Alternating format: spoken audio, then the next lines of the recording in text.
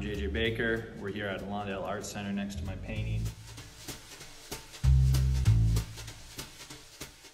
Uh, the painting is titled Gillian Baker as the Black Duchess after Goya.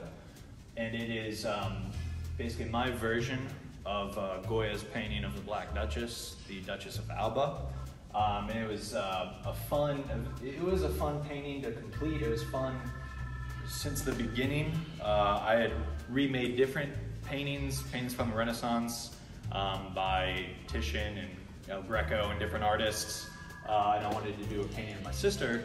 So I asked her what painting she wanted to kind of reinvent and she mentioned this painting by Goya. And so I photographed my sister recreating the pose where she's like pointing down with her hand. But then I kind of did my own touch to the painting to get a bunch of different um, exciting things to happen, such as multiple arms. She's got three different arms. We've got a bunch of fun stuff happening like in the background. And we've got some different words hanging out in the painting. In the Goya painting, the Duchess is like pointing down to the ground and on the ground it says Solo Goya.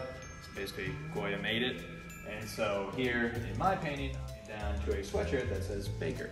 Uh, so not only a reference to Goya, but also, you know, putting our name in the painting, you know, as me, JJ Baker, and her, Gillian Baker. Um, and yeah, there's a couple different references in the painting as well. Appears a museum ticket from the Fine Art Museum in Houston, uh, where there was a show that included the Goya painting. So while I was working on this painting, I was able to go to the Fine Art Museum and look at Goya's actual painting of the Black Duchess. So that was a real treat. Also have a couple other references. Here it says provisional painting. Uh, that's an essay by Raphael Rubinstein. He's a teacher at U of H. He wrote an essay about uh, painting and where is that, and this idea of provisional painting and paintings almost looking like they're half done but still being like a complete work. So that's a reference to that. Um, down here is like a little landscape. At one point, this was a small copy of the Goya painting, but it wasn't working, so I got rid of that. Put in this uh, small landscape, which is itself a sort of reference to um, some German painters, uh, painter Caspar David Friedrich, as well as uh, Edvard Munch, the famous Norwegian painter. I was thinking about those as I put in this kind of dreary landscape. So there's a lot of references in this artwork. Um, and one of my favorites, and it was actually the last thing I painted into this painting, on my sister's um, watch here, it says Billie Eilish, You Should See Me in a Crown. The title is painted there on the watch, and I added that uh, not only because me and my sister are both fans of Billie Eilish, but when I was working on the painting, because of her green hair, people were asking if that was Billie Eilish, and I was like, no, it's my sister.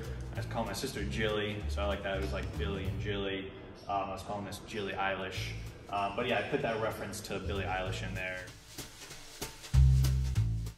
This painting is a companion piece to a self-portrait I did from a couple years ago. In the self-portrait, I was wearing a shirt that said college, which itself is a reference to Animal House, but it was a shirt I got in college. So working on this painting, um, my sister who went to Boston College, I was like, you have to wear your college shirt. That way there's a connection between these two paintings. Um, and I also, I love text in work, so that's why you have a bunch of words everywhere, especially that Boston College is kind of abstracted, but you can very much read it, um, but becomes kind of a graphic element anchoring the middle of that painting. Uh, and with a lot of my work, I like to have a lot going on so that when you look at the painting, you can keep delving into more layers of meaning and kind of hidden messages and images. Um, so my work definitely um, is best experienced in person like most work is.